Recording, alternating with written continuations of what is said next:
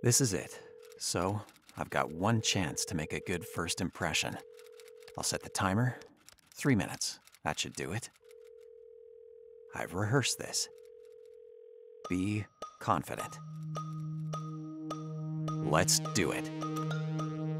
Okay, this is my moment.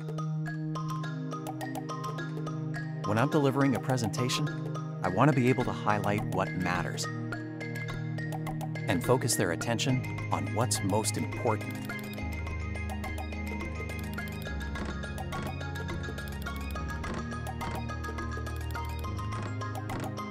Ah, a question. No problem, I'll just go back and create a new slide. If I use virtual slides, it'll be a lot clearer and really help them understand the point I'm making. Much better.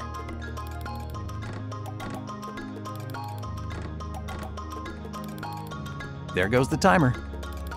Nailed it.